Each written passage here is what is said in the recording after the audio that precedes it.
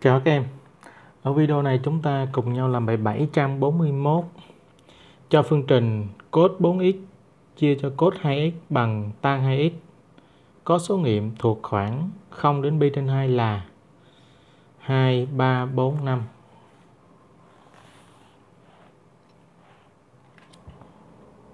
Bài 741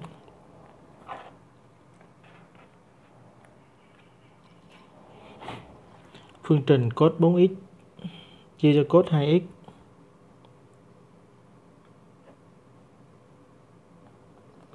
bằng tan 2x thì việc đầu tiên là chúng ta phải tìm điều kiện ha, điều kiện. Điều kiện là cos 2x phải khác không? Tan 2x là bằng sin 2x chia cho cos 2x như vậy thì ở đây mình cũng có cos 2x khác không nữa đúng không? Nó trùng với cái này rồi. À, trùng này rồi. Giờ chúng ta chỉ cần một điều kiện này thôi. Thì cos 2x khác không thì tương ứng với lại 2x khác. Rồi cos 2x khác không là khác hai điểm này. Trục cos không. Vậy là 2x khác pi trên 2 cộng cho KB hai điểm này cho nên là chỉ chỉ cộng cho KB thôi. Và tương ứng với lại là x khác là pi trên 4 cộng cho k pi trên 2 với k thuộc z, đây điều kiện là x phải khác cái giá trị này. Tí nữa làm xong mình sẽ so sánh với giá trị này để xem nghiệm có thỏa mãn hay không. Đây, phương trình 1 đi. 1 sẽ tương đương. Bây giờ mình thấy là tan là bằng, tan 2x là bằng sin 2x chia cho cos 2x thì cos 2x chia cos 2x hai bên đây cùng mẫu rồi ha. Vậy thì đây mình viết lại là cos của 4x chia cho cos 2x sẽ bằng tan 2x là bằng sin 2x chia cho cos 2x và ở đây cos 2x này khác không?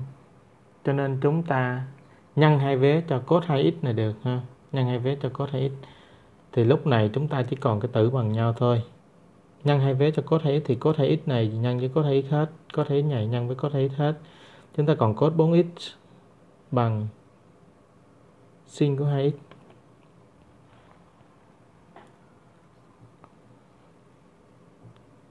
rồi, tới đây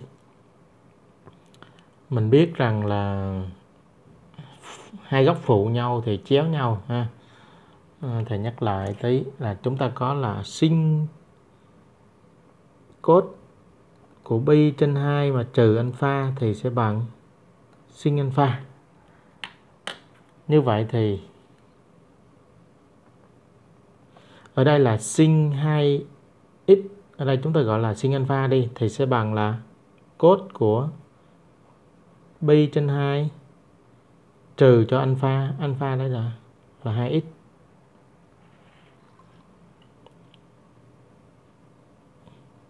rồi, chúng ta đã đưa về dạng phương trình cơ bản rồi. Lúc này là 4x sẽ bằng pi trên 2 trừ cho 2x cộng cho k2 pi và 4x sẽ bằng pi trên 2 bằng trừ pi trên 2 trừ với trừ là cộng 2x cộng K2 pi. Và đây chúng ta giải được là x này sẽ bằng là à, ở đây là 2x chuyển qua đây.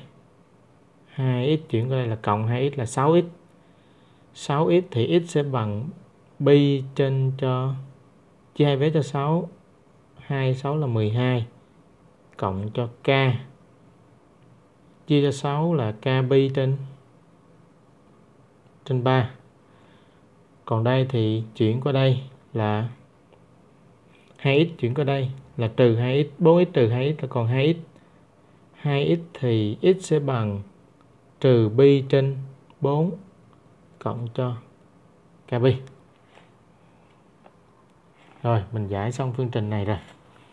Bây giờ mình so sánh xem ừ, thử mình có nhận nghiệm này hay không. Hai nghiệm này mình có nhận hay không?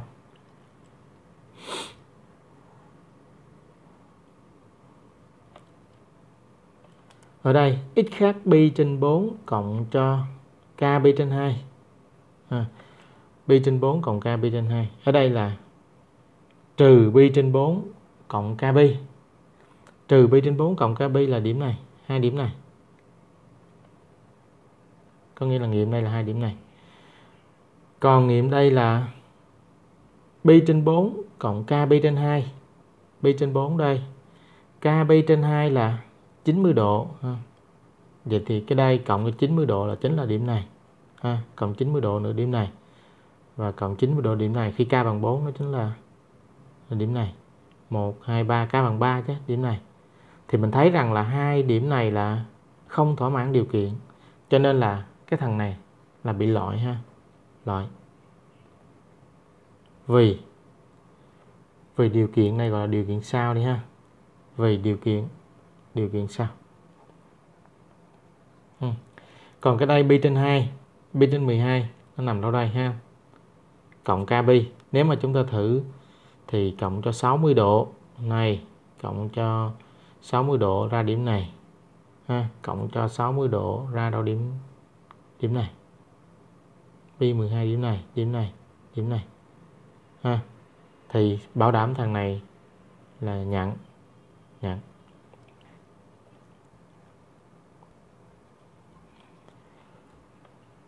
Rồi nhưng mà ở đây là à, bài 7 nè. Ở đây để cho mình là x thuộc cái khoảng 0 đến pi trên 2 thôi. Ha x thuộc khoảng 0 đây. Vì x thuộc khoảng 0 đến pi trên 2 nên mình mới suy ra được x là thằng này ha. Nên là không phải bé hơn hoặc hoặc bằng, không bằng, vì đây là khoảng nên bé hơn thôi. X bé hơn, pi trên 2 từ đây mình đi thế, cái thằng này vô đây. Thì mình sẽ có là không bé hơn pi trên 12 cộng cho k pi trên 3 bé hơn pi trên 2 rồi. À, tiếp tục. Để cho đơn giản hóa thầy sẽ nhân ba vế này cho 12 đi ha nhân cho 12 thì không nhân 12 là bằng không. B nhân 12 bằng b cộng kb nhân cho 12 là bằng 4 kb đúng không? 12 chia 3 còn 4 4 kb này nhân 12 là còn 6 pi rồi tiếp tục. Chúng ta trừ cả ba vế này cho bi thì chính giữa chúng ta còn 4 k bi.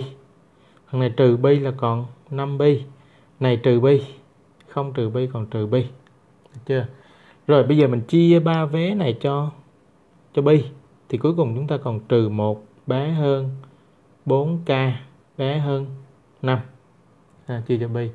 Tiếp tục mình chia cho 4 nữa. À, chia cho 4 nữa thì mình sẽ được là trừ 1 phần 4 bé hơn k và bé hơn 5 phần 4 số 5 phần 4 này chính là bằng 1,25 còn trừ 1 phần 4 chính là bằng trừ 0.25 ha, bé hơn k bé hơn này. Được chưa? Mà vì k thuộc z ha, vì ở đây ở đây là k thuộc z. Ở đây là vì k thuộc z nên k sẽ bằng k lớn hơn 0.25 và bé hơn 1.25 cho nên là k sẽ bằng 0 và bằng 1 đúng không? k bằng 0 và bằng 1 được chưa? Thì tương ứng với k bằng 0, k bằng 1 thế vô đây thì chúng ta sẽ có được hai giá trị của x. Hai giá trị của x trong cái khoảng trong cái khoản đề cho ha, trong là trong cái khoản này. Được chưa? Như vậy thì bài này chúng ta sẽ có hai nghiệm. Bài này mình sẽ có hai nghiệm. Ừ.